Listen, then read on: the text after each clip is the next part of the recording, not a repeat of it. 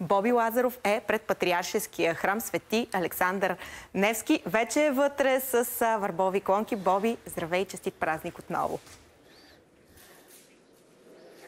Здравейте отново. Честит празник. Според свещените писания на този ден Спасителят възседнал осел влиза в Иерусалим, а множеството го посреща с палмови клонки и възгласи Осанна, т.е. спаси ни, помогни ни.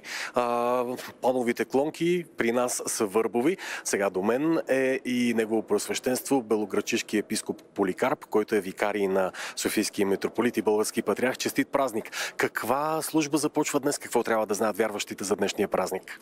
Честит празник на вас, на зрителите, на слушателите на BTV. Днес е голям празник, хубав празник, пъстър, цветен празник. Отбелязва Православната църква влизането на Спасителя в Иерусалим.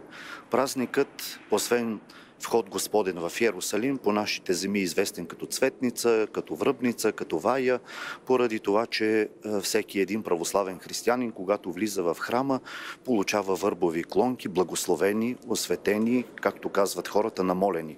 Така че това е един прекрасен празник, който е свързан с възкресението на Лазар и поради именно това възкресяване, което за мигове, за секунди се разчува по светите земи, тълпи от народ посрещат Спасителя в Иерусалим като свой цар, като свой спасител, като такъв, който ще даде възможност на юдеите да съществуват вече на земята като свободен народ. Разбира се, ние посрещаме Спасителя като небесен цар, като цар на мира. И не случайно той влиза на осле в Иерусалим, което е знак, че той влиза като мирен цар, като умиротворител, докато другите царе са влизали съответно на кон, което означава готови за война, готови за, за битка, готови за различни а, светски, да ги наречем, изкушения, чрез които да покоряват народите. Така а, че раз... празники на мира. Разбрах, че и патриарха, негово светейшество ще присъства на службата. Да, днес негово светейшество не само ще присъства, но той ще оглави светата литургия, която по типик, по правило е Златоустова, докато в другите дни на Великия пост Светата литургия е Василиева, т.е. тя е малко по-дълга, малко по-голяма, с по-просторни молитви. Днешната не само, че е по-кратка, но някакси по-тържествена, по-величествена, която имаме тази радост и чест да бъде оглавена тук в Патриаршеския катедрален храм от Него Светейшество, Българския патриарх и Софийски митрополит Неофит. Аз да напомня, че всеки вярващ, който желая, от тук може да си вземе осветени върбови клонки. От утре започва Страстната седмица. Най-важното, което всеки православен християнин трябва да си припомни в тези дни а, преди Възкресението. Във всеки един православен храм днес ще се раздават върбови клонки, които са символ на влизането на Господ в Иерусалим. Нашия духовен знак, че ние го посрещаме така, както е посрещнат в Иерусалим, с смирение, с призива Осана, Бог да ни помилва, да ни спаси, да ни облагодати и да ни дарува това, което ни е потребно за спасение и вечен живот. Разбира се, с а, а, извършването на този празник, с навлизането в празника, ние се подготвяме и за Страстната седмица, която е страстна, защото ние възпоминаваме раните, мъченията, страданията, мъките на Господ Исус Христос. Седмицата е изпълнена с богослужения. Още от днес вечерта започва така нареченото последование на жениха, което е три поредни вечери.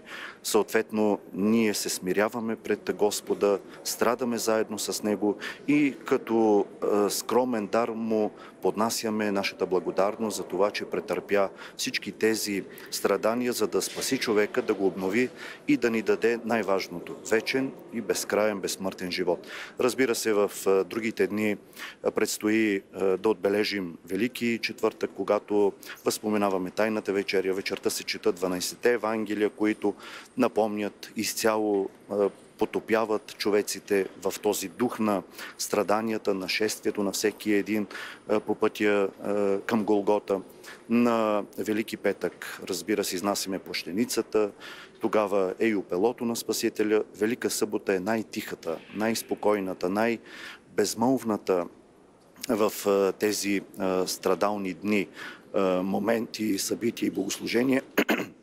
Извинявам се, чрез което ние се подготвяме наистина за Възкресението, за кулминацията на поста, кулминацията на Страстната седмица и се поздравяваме със светлото Христово Възкресение. И накрая, съвсем накратко, вашата благословие към всички вярващи православни, които ни гледат в момента днес за празник. Всички ние е, имаме нужда от е, Божие благословение, от благословението на Светата Църква. Нека бъдем смирени всички, нека отдадем Божието Богу, кесаревото кесарю. Нека се облагодатим посредством всичко това, което духовно изпълняваме, за да имаме мир и най-вече да бъдем човеци. Това е и нашето послание в Светата Църква, да бъдем човеци. Благодаря ви, Бог да ни помага. А, тук след минути ще започне празничното богослужение в Патриаршеския храм Свети Александър Невски. Разбрахте от негово просвещенство епископ Поликарп, че богослужението ще бъде оглавено от негово светейшество Патриарх Неофит. Още веднъж честит празник и на всички тези, които днес празнуват своя имен ден. Благодаря ти, Боби. Благодарим и на твоя събеседник за това, че внасяте празника и в студиото. А ние ще чуем и атмосфера от празничната литургия, която ще се води от българския патриарх.